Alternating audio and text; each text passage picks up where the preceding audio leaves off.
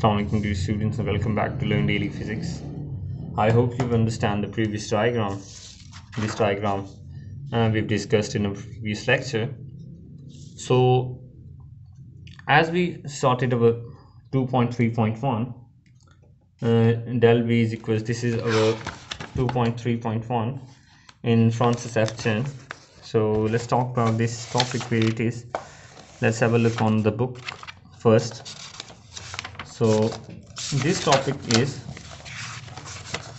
here. We have this topic on page 26 you can see. So i i'm showing you this because uh, it's easy for you when you consult some book. This is francis f. Chen's book. Mostly mostly universities follow this book. So i'm using uh, this book. So we are going to find out what we are going to find out is the value of this drift velocity okay? This value uh, the ultimate goal of our lecture is to find out this value how this values come and how this uh, f of y come and what this value is. And we will discuss all these equations.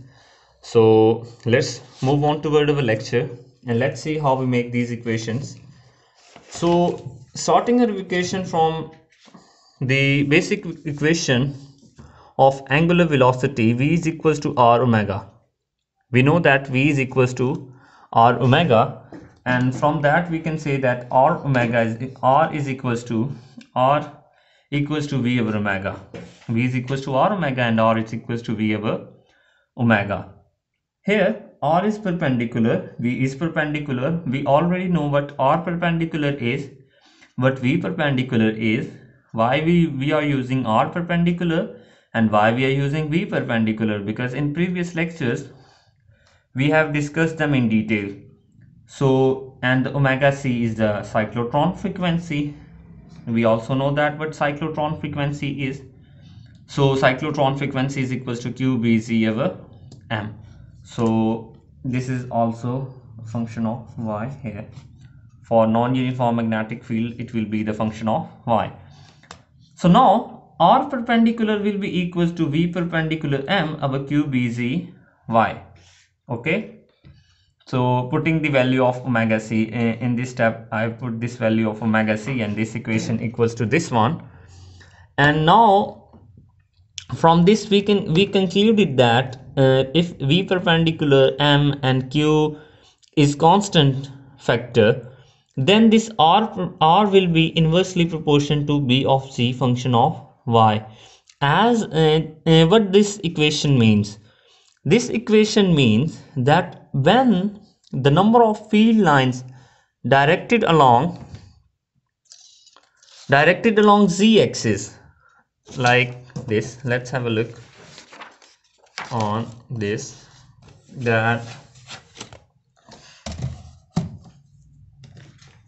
when we say that we have these number of field lines okay? So the circle for that will be small. As this field line along z axis these are pointed outward and outward we say that is z axis and the gradient is a function of y. So this is the direction of b of z and this is y and this is the direction of del dot b gradient of b and we say that this is decreasing along y-axis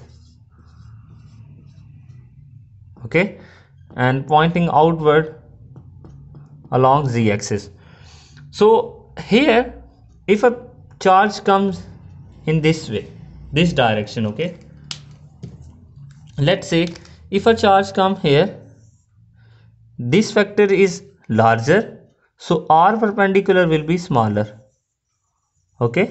It will be it will make a cyclotron of smaller radius. If same charge comes here it will make radius large okay? R perpendicular will be this will be the v perpendicular let's say. So this will be the r perpendicular and r perpendicular will become larger when b of z of y will decrease. They have inverse relation. This is what we mean from that equation. Okay? So we have find out our first concept when this gradient when the del of b del dot b and are perpendicular and b are perpendicular. And what happens what is the relation between r and bz of function of y? So similarly we say that r perpendicular is equals to y perpendicular and same equation for that. So let's move on toward our next derivation for the drift velocity which is gradient b drift. You can see on your screen so F is equals to from the Lorentz force E is just like our first case E0 here. So F is equals to Q into E plus V cross B. Lorentz force E0. So F will be equals to Q into V cross B Z of Y. This is the magnetic field. When we find out the V cross B of Z, we know that uh, how we find V cross B of Z, we take the determinant as we took before in our previous lectures. So V cross B of Z will be equal to this term here you can see on your screen. So what we are going to do we are going to put this value in this equation okay putting this value in this equation when we put the v cross b of z of y from this equation we will have this equation if splitting this f into resolving this f into its component f x y and z we will have this term and on the right side we will have this term. Now what we are going to do we are going to compare their you can we can we can say that we are going to compare their respective components. X component with x component y component with y component and z component with z component. I unit vector with the i unit vector j unit vector with the j unit vector and the k unit vector with the k unit vector.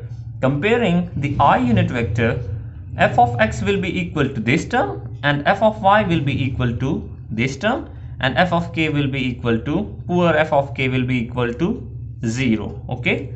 So naming this equation as equation 1 as and this one as equation 2 as we are going to use this equation in next calculation so let's see another tricky thing. So now what we are going to do is we are going to say that as the b of z is a function of y okay? So starting b of z is 0 plus y. B of z is 0 plus y. When we apply the Taylor series here this b of z is uh, uh, we are also con considering the divergence of b is along y-axis so when we will apply the Taylor's expansion on this b of z and the divergence of b we will get this as initial value plus at any instant of y. So this is its initial value and this is its gradient. Y into its gradient. This is its gradient. I told you how this gradient becomes. Because this is the change in b of z with respect to y which is equals to the gradient with respect to y. So we are uh, looking for the change with respect to y. So this is uh, that uh, the equation what we are looking for. So putting this equation we know that now in this equation we are go going to put the value of b of z which is equals to b naught plus y partial y by partial bz of partial y. Putting this value in equation 1 here and in equation 2 here we will have this equation 3 and 4 so you can see this equation 3 and 4 by putting the values. Now I've told you something that you have that I told you to recall some equation that you have to remember some equation which are very important for my next lecture. I told you that I will use those equation in my next lecture. I've told you before. Those like those equations are these. These are the equation that you have to recall in your mind that you have to remember in your mind so that you have to learn by your heart that this equation these equation v of f is equals to v perpendicular cos omega ct we we we proved all these equations in our, in our previous lectures. You can see in in lecture number 7 and 8 we proved these equations. So in this lecture we are going to use these equations. So v of x is equals to this term v of y equals to this term x minus x naught equals to this term this this we all we know everything about this equation. We already discussed it. I'm not going to discuss them anymore because i've told you before in detail. So the next thing what we are going to do is this is an arbitrary origin. X naught is an arbitrary origin. Y naught is an arbitrary origin. And uh, these are arbitrary. So we are taking them as zero. We are saying that uh, our starting point is zero so x naught will be 0 y naught will be 0 so this will be x will be equals to r perpendicular sine omega ct and y will be equals to plus minus r perpendicular cos omega ct now what happens? Now putting all of these values this these two values and this y equals to this one in equation 3 and 4 okay?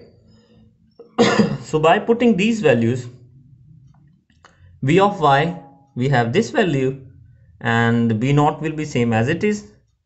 Y will be equal to this term. So we will have these two equations. So the difficult work is done now.